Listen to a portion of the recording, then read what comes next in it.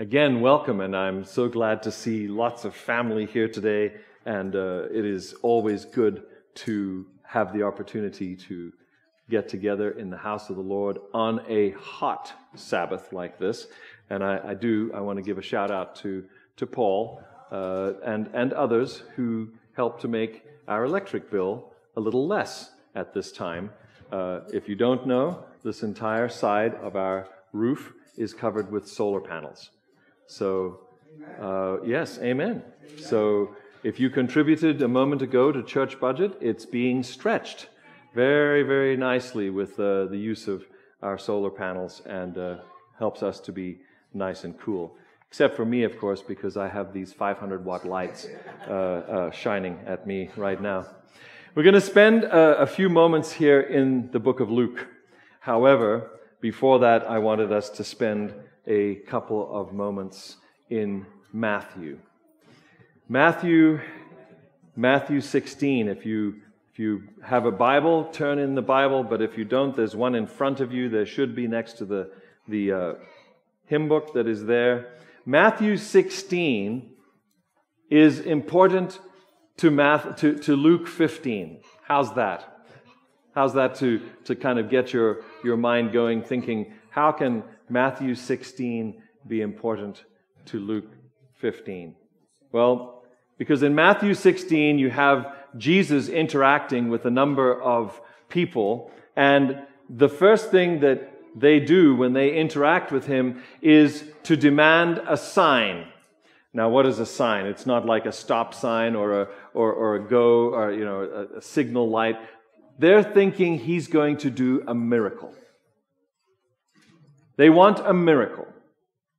And the fact is, at this point in Jesus' ministry, he had already done a lot of miracles. But the fact is, they wanted more. They wanted more and more because they did not believe.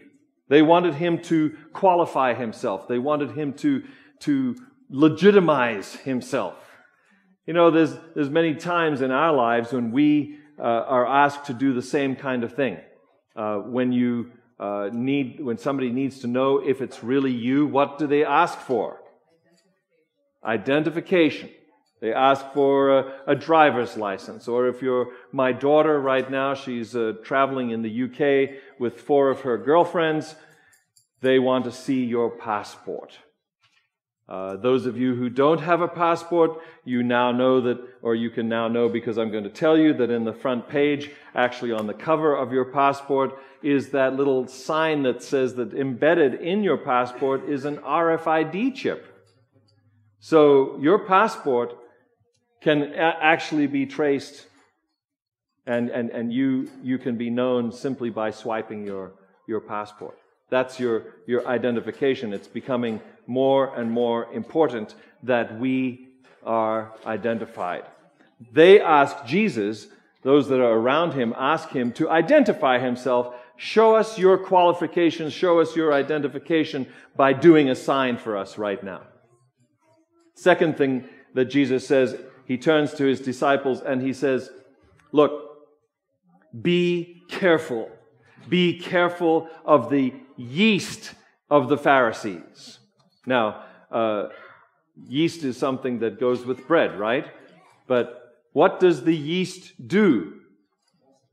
Bakers, gentlemen, ladies, doesn't matter. If you know how to bake, it makes the bread rise, it expands the bread, okay? There's a chemical reaction, there is gas that blows bubbles inside of the dough. That's what releases, that's what raises the bread. It changes, this is the big point about yeast, it changes the bread and makes it into a different form and makes it actually edible. Jesus says, Be careful of the changing perspective. The changing perspective of the Pharisees. Finally, he turns to his disciples in, in Matthew verse chapter 16. He turns to his disciples and he says, Now, who do you think that I am? And Peter gives that famous confession where he says, You are what? You are the Christ, the Son of the living God. Jesus says something very interesting to him right after that. He says, You did not hear this from humankind. I'm saying that instead of man, because that's what man in that context means. You did not hear this from somebody here on planet Earth. You heard this from my heavenly Father. He was the one who told you that I am the Christ and I am his son. He then tells them not to tell people about it, but before that, he says, Understand this. You are the one that I am going to build my church on. How many of you have read this text in Matthew 16? Okay, many people. And many people put an emphasis on that piece. Peter, you are the one. Is this what the text is saying? I want you to know that I have an emphasis coming that may change your mind just a little bit because of how Matthew 16 goes. Are you there with me in Matthew 16?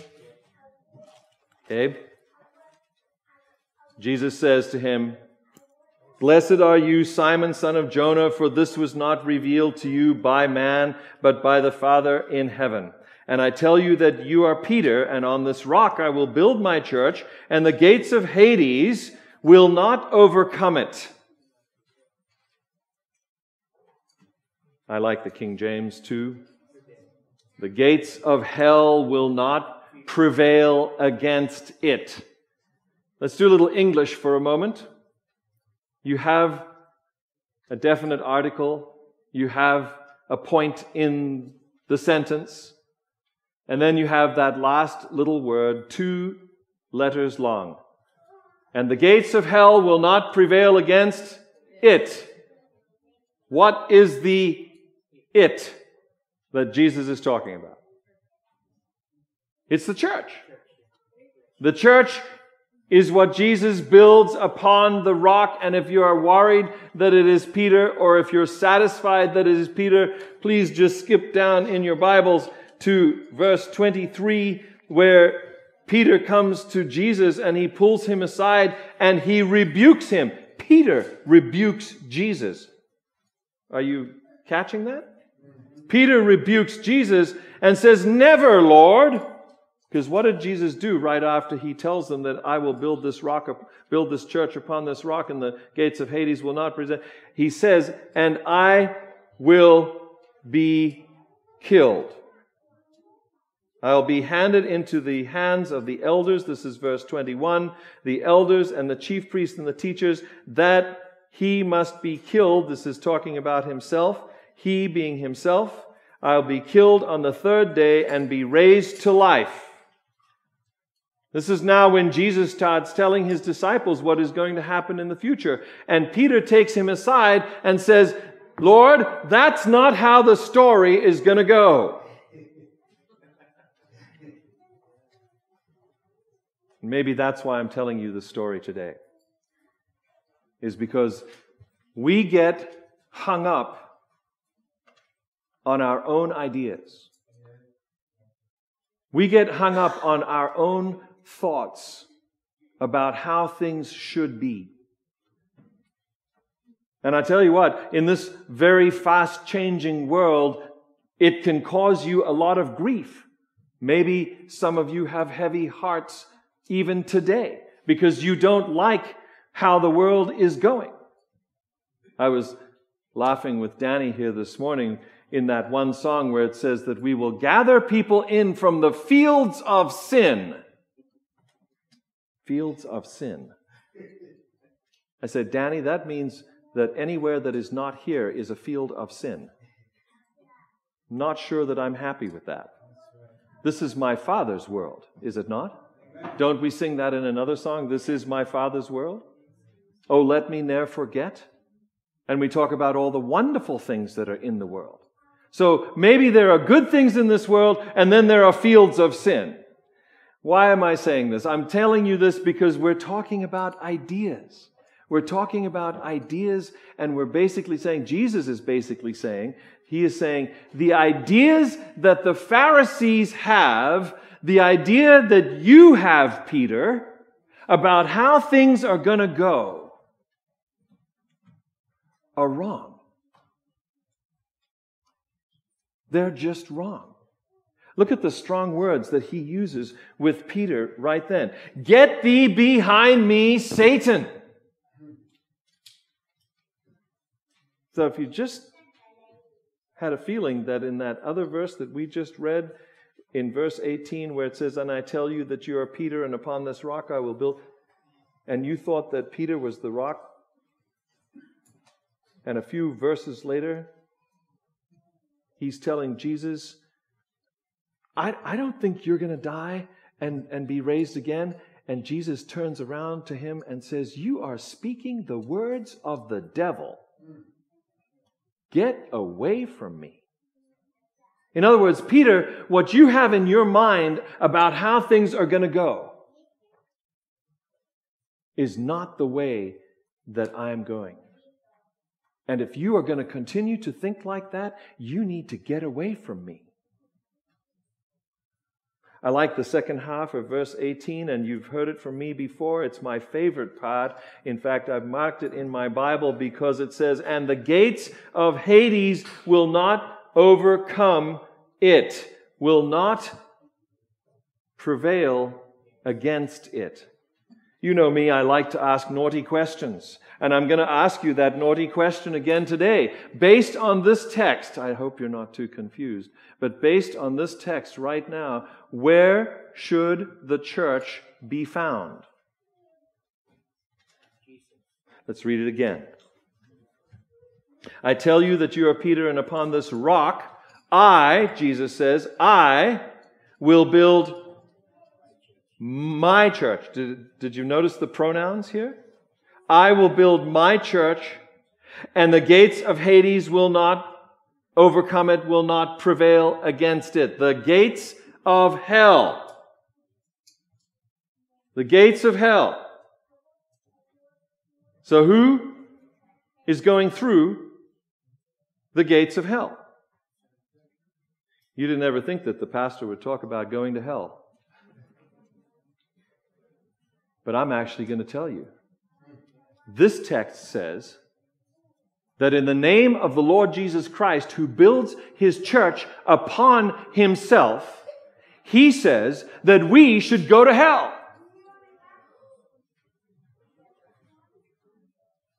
You don't believe me?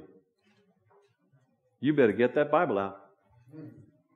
I will build my church upon this rock, and the gates of Hades will not overcome it.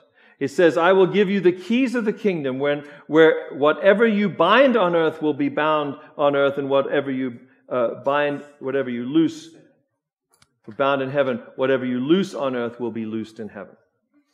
He is going to give us the power to do His will. He is going to give us the power to be part of His church and to go and knock on the doors of the hell that people are living in in this world right now. Oh, did you think that hell was coming later? So I heard this week there was a football team trapped in a cave. Are they out yet? No. They're not out. Do, do you think they're worried about dying? Do you think it's scary? Yeah. Okay, so there, there are at least a couple of doctors in the house. Uh, uh, when you go to see the doctor and he says, well, the, there's a possibility that that mole is malignant. Just that word, malignant. Do you know that it comes from the word malign?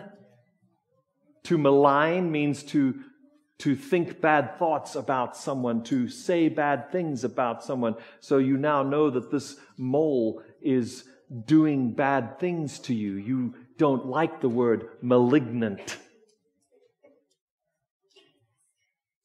You get afraid because malignant means that it has intent.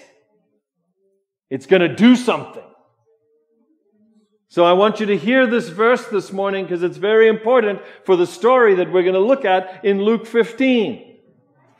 I want you to hear that Jesus is saying, I am going to build my church on me, and because the church is going to be powered by me, and, if, and, and when I send the church, where am I going to send the church? I'm going to send it into the fields of sin that we just sang about.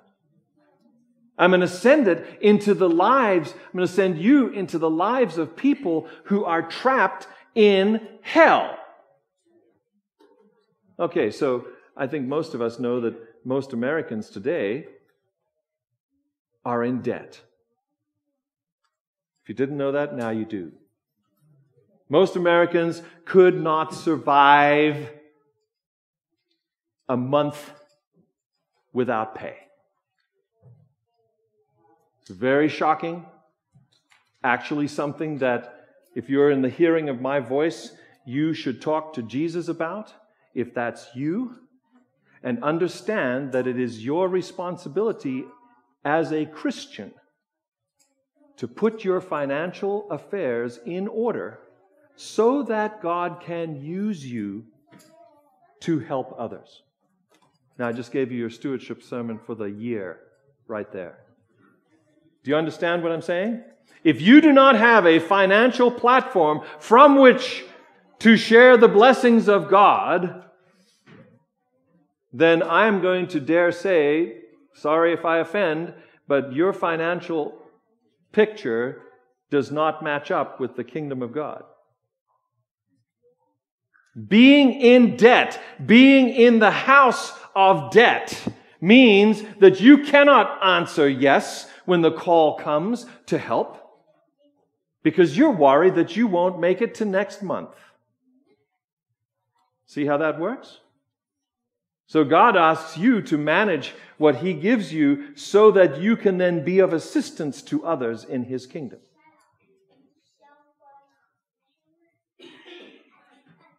Peter comes up to Jesus and says, Never, Lord. This shall never happen to you. I confess. There have probably been times in my life when I have not wanted what the Lord has to offer. I confess.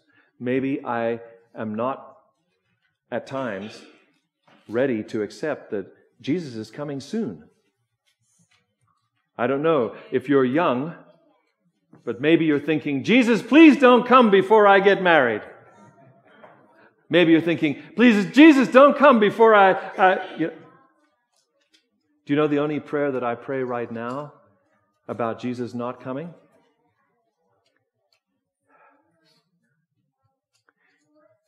Is the one where I need more time.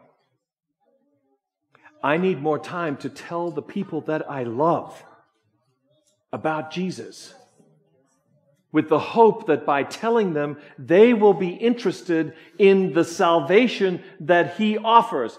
I'm actually asking God for time to go into the hell that people are living in and ask them if they would like to come out. Famous text that, that Adventists know. We know that, come out of her, my people. Raise your hand if you've heard that one preached. What if we were to go into the hell of people's lives and say, come out of hell into the love that Jesus has to offer?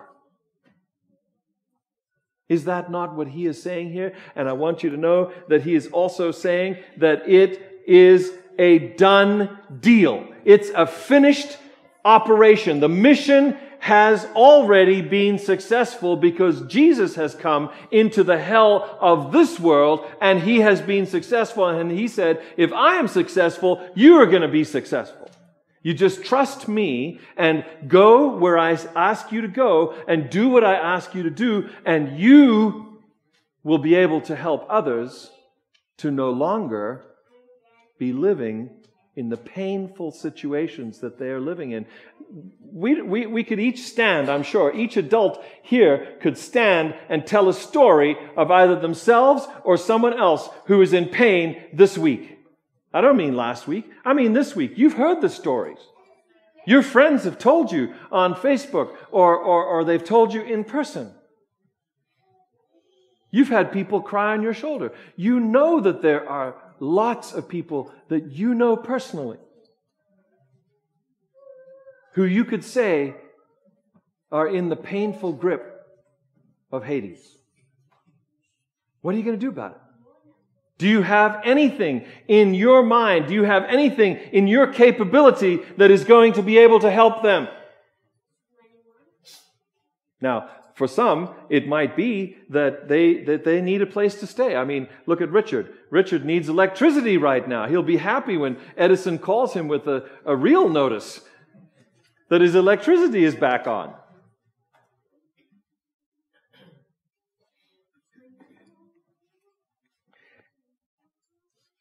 Jesus says, If anyone would come after me, he must deny himself and take up his cross and follow me. For whoever wants to save his life will lose it, but whoever loses his life for me will find it. What good is it for a man who, if he gains the whole world, yet he forfeits his soul? My friends, again, I emphasize, we are talking about ideas. And Jesus says, Beware of the yeast, beware of the changing ideas of the Pharisees. Peter, you have some of those changing ideas. Get away from me. This is how it's going to go. I'm going to die. I'm going to be resurrected. And that is how I'm going to save you. Oh, no, Lord. That's not how it's going to go. Yes, that's how it's going to go. And we say, to, we say this morning, praise God, that's how it's gone. Jesus said in John 14, if I go to my heavenly Father, I'm going to prepare a place for you and that you can come and be with me. And that's if I get through. If I get through to the other side, he says, I will do this and I will do it for you. Guess what? He's gotten through. We celebrated that back in April with Easter, right? He is risen. Hallelujah. He's gotten through, which means the other half of the promise is going to happen. Everything else has happened. Everything else has come true. All that remains is that He comes back and takes us to live in His presence face to face forever. Amen. Or should I say it like I like to say it? For the rest of forever.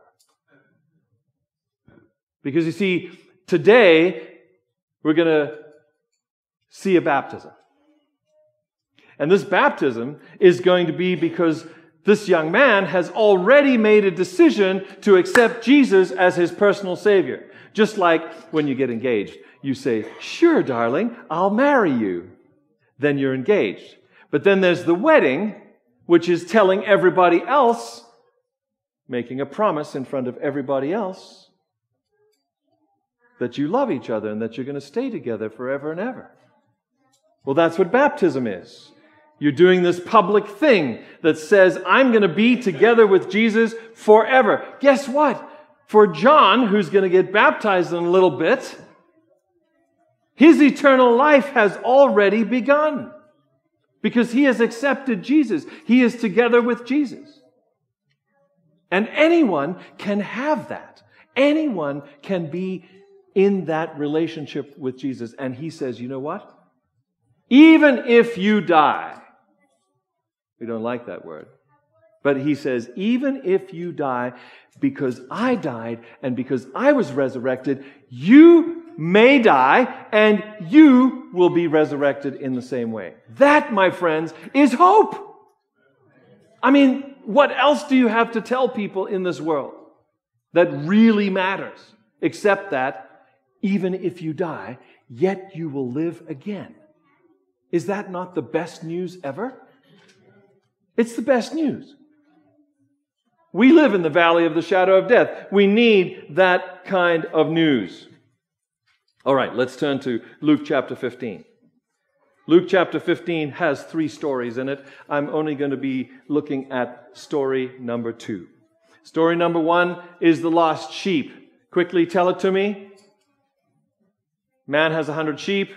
What does he do? One gets lost. Do you notice what he does? Do you, I, I can't help this. Do you notice what he does? He leaves the 99 in the. Are you reading it? He doesn't leave them in the sheep pen. He leaves them in the field, in the open field.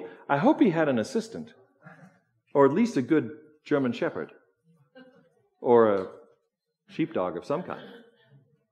But he leaves them in the open field. Are you kidding me? He is more intent on finding that one lost sheep than the rest of the 99 that are in the open field, hopefully being guarded by the dog. I want you to see that. Because he, as, as, as some have said, is the hound of heaven. He is going to look for that sheep until he finds it. And then when he finds it, what happens? Hey, big time rejoicing. So, ladies, this is your story. Number two, story number two, Jesus says, or suppose, this is verse 8 of, John, of Luke chapter 15, or suppose a woman has 10 coins. Now, Mrs. Thornburg has a very nice necklace on this morning that I thanked her for wearing. And if you want to see it, have her show it to you afterwards. But it is very much like the kind of jewelry that we're talking about here in this text. It is the kind of jewelry that would have coins attached to it. And if you've seen those Middle Eastern ladies' garb, specifically when they get married. They often have coins put on the sides of their headdress and down, all the way down. These, my friends, were real and they were her dowry. They were the money that belonged to her as a daughter of her father, and he gave her this money to go into her marriage with. It was not her husband's money. It was her money. So you can now invest this story with that kind of importance. It was one of those 10 coins in the story, the ones that her father gave her when she got married, that she lost. Now, nine is just not as good as 10. And when they are the special ones that your father gave you on your wedding day, you are not wanting to lose. So, what does the Bible say? What does Jesus say as he's telling us this story? Does she not? Now, he's, he's assuming, he's assuming that people know exactly what he's talking about, and that when he tells this story, they are going to relate to this information like, duh, of course. Okay, so he says, Does she not light a lamp? Best source of light that she has. You know, nowadays it would probably be a halogen bulb or something. Does she not light a lamp, sweep the house? We'd probably use a vacuum cleaner. And then we check the, the contents afterwards. And search carefully until she finds it. And when she finds it, she calls her friends and neighbors together and says, Rejoice with me, for I have found my lost coin. And he says, In the same way, I tell you, there is rejoicing in the presence of the angels of God over one sinner that repents. And I'm going to just go to the punchline right now and say, Heaven is bent on making sure that we all get there. Heaven wants us home. And when we participate, when we participate in helping others to know about how heaven feels about us, we are on the same page with Jesus. Okay? Beware of the yeast of the Pharisees. Beware of those who are interested in you being like them more than they're interested in pointing you to Jesus. Beware of anyone who says, Oh, you know, you shouldn't bother those people over there. You know, they're, they're fine. It's, you know, let, just, just let them be, you know, uh, uh, uh, beware. Beware of those individuals who have an idea of how our world is today that says, oh, don't, don't worry. Don't worry about them. They'll be fine. That's not the idea that comes from heaven. That's not the idea that comes from Jesus. Jesus, Jesus says, I have come to seek and save the lost. He is the woman in this story. The church needs to be the woman in this story. She diligently, the Bible says, she doesn't stop until she finds the coin. She is willing. I don't know how you like to interpret this, but it, it, it it's pretty radical stuff. She is willing to turn her house upside down. Are we, are we willing to turn our lives? Are we willing to turn our church upside down to seek and save?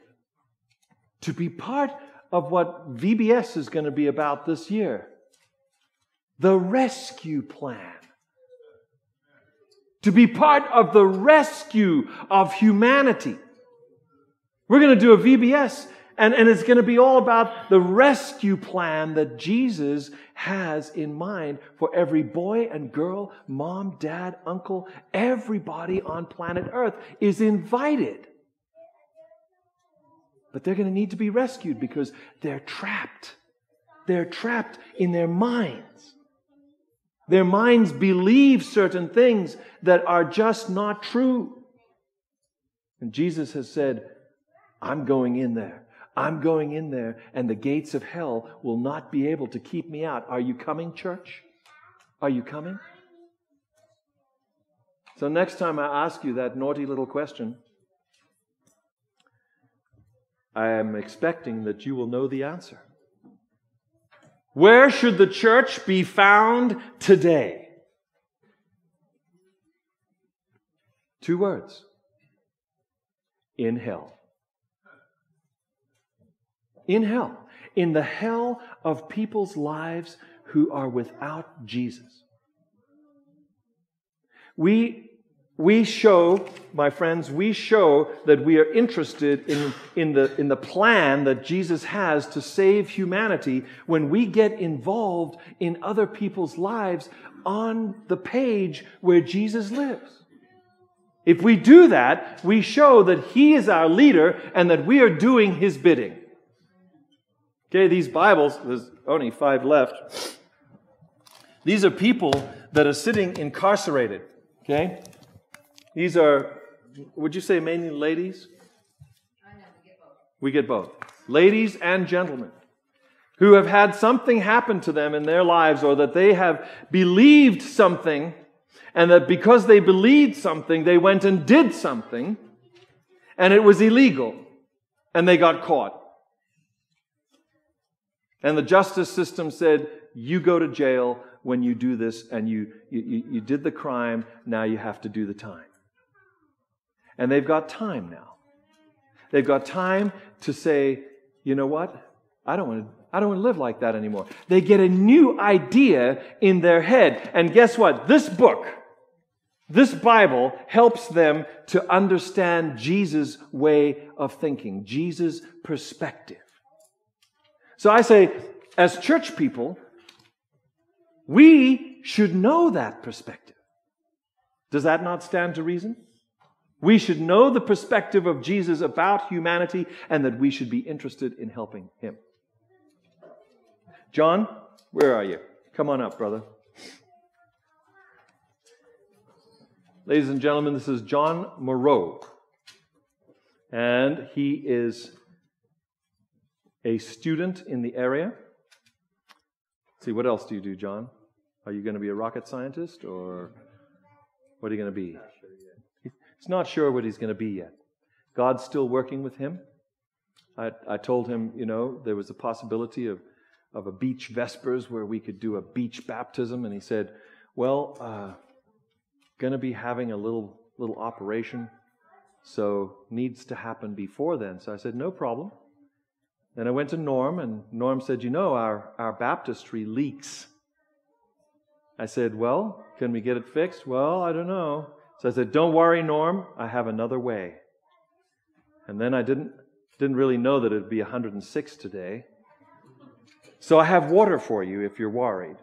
There's water over there. But in a moment, after we have a prayer for John here, and after we go into a quick business session and uh, make a vote about accepting him into membership, I'm going to ask you to come around the side of the church and into Oak Courtyard, which is behind our Sabbath school wing there. And I want you to stand and watch while I baptize John in a horse trough.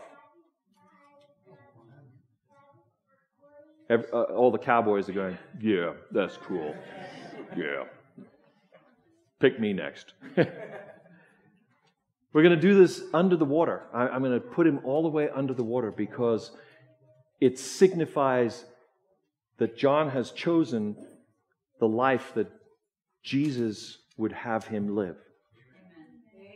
Okay? Those of you who have done this already, I want to, I want to say, God bless you, and the Holy Spirit is trying to help you keep your vow. Those of you who have not made that decision to make Jesus the Lord of your life, it is now that you need to do that because you don't know what is going to happen tomorrow. And I'm not trying to make you scared, I'm just stating fact. I don't know about tomorrow. You don't know about tomorrow. So don't say, oh, I'll I'll become a Christian someday. Today's the day. Talk to me if you want to do what John is going to do today. Talk to me about that because I know that there are some of you who are struggling in the valley of decision as to whether or not you want to be a Christian. Maybe you're saying, I want to be a Christian, but I'm not so sure about the Adventist church. Well, guess what? We've got some studies going on, right, Denise? We've got some studies going on beginning next Sabbath that can help you understand a little bit more about how we see the Bible and how we see Jesus. Take the opportunity. Push everything out of the way because I guarantee you there's going to be stuff that's going to come up that's going to try to keep you from coming to those studies. Push it out of the way. Give Jesus space in your life to tell you about himself so that you can be like John on the same page with Jesus and his perspective about this life and the next. As a, the pastor of this church, I'm not the board chair. Milt Hinkle is the board chair, but I'm kind of co chair with him. As the pastor of this church, I'd like to ask if there is a motion to accept John into membership subject to his baptism. Is there a second? There's a second. All in favor, as the members of this church, of having John become a member of the Seventh day Adventist Church here in Santa Clarita, would you raise your hand? There it is, John. Any opposed? It is carried. Welcome, John. That's called the right hand of fellowship right there.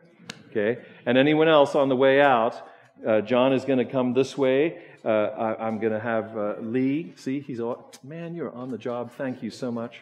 Lee is going to play a little something. It's not going to be anything that we're going to sing because we're going to sing a hymn after the baptism over there. Please don't rush away. Please come honor God, honor John uh, with his decision to be baptized, and uh, join us in Oak Courtyard at this time. Okay, there's a song sheet in your uh, in your bulletin, so bring it out there, and you will have the music. Okay, let's let's go there, John you're going to go back this way. Milton? Uh, okay. Okay. They'll take care of you. All right? Follow me.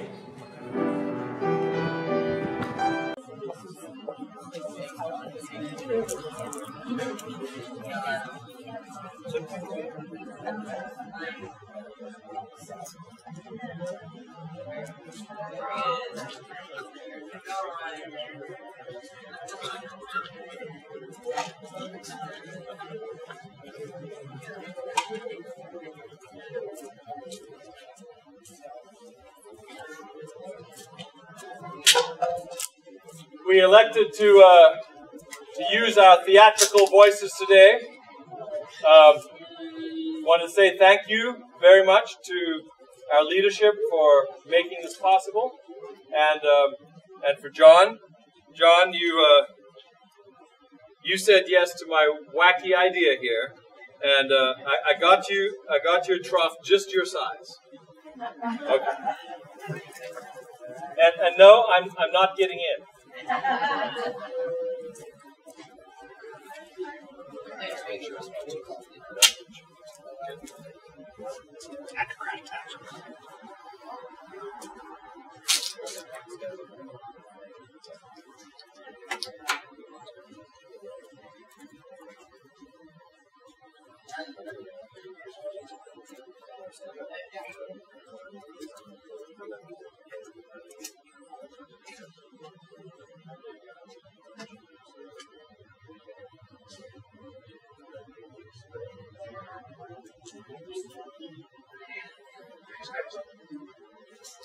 John, because of your profession of faith in Jesus Christ, your desire to be a part of his eternal kingdom, I now baptize you in the name of the Father, the Son, and the Holy Spirit.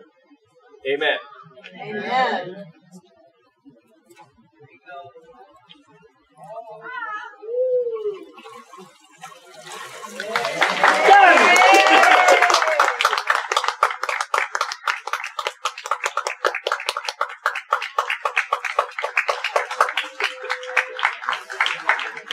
Come step, yeah, this is fine. So jump into those right. We're going to sing a song real quick, right underneath here. Hopefully you brought out the song sheet. We'll be singing Still Nearer. He has another one.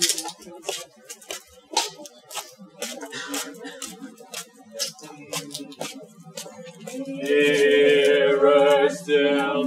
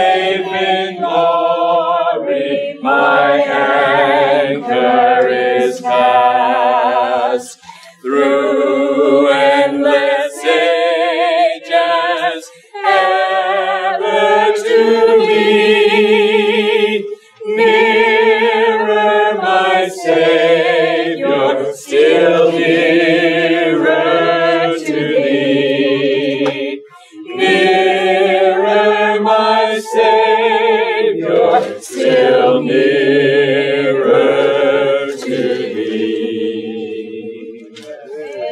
Amen. Father in heaven, we thank you in the name of Jesus for saving every last one of us.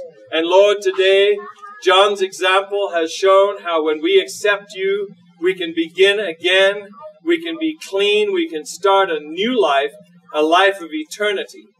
Father, we just ask that you would protect John, that you would make him strong in the faith, and that one day, very soon, that you would find him and all of us ready to meet you in the clouds of heaven. In Jesus' name we pray. Amen. And amen. Like to invite you to the uh, wed- uh, the baptism supper. Uh, I mean the baptism lunch. I was thinking the wedding supper of the Lamb, but we have lunch prepared right through those doors right there. Please turn right around and find yourself a seat. We have lots of food. Thank you for coming, and God bless you, everyone. Thank you. If anyone wants to say, if anyone wants to shake John's hand, come on and do it. Monica was there for four years.